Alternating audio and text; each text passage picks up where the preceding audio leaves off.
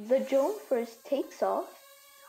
It then goes up until it reaches an optimal height to scan for the person's face. It then keeps rotating, scanning for faces. Once it scans a face, it creates an imaginary box over it and uses its dimensions to find out how much it should move forward.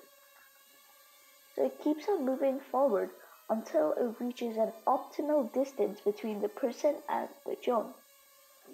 Once it does, it takes a picture and lands. This is the selfie that the drone took.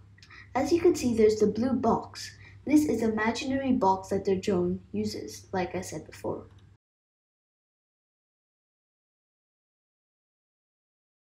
So onto the code. So I used Python to make this selfie drone. So first I initialized some uh, variables and imported the modules, the most important one of which is the DJITelloPy that lets me control the drone. Here, this is a function to take the picture, and I just do some basic commands to get the drone started and up. Then over here, it detects a, uh, it keeps rotating with this code until it detects a face.